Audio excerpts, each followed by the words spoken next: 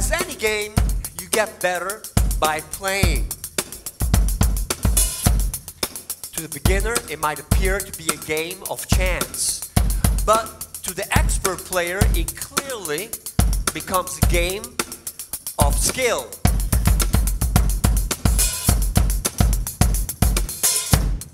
At the base of that skill is what I call framing.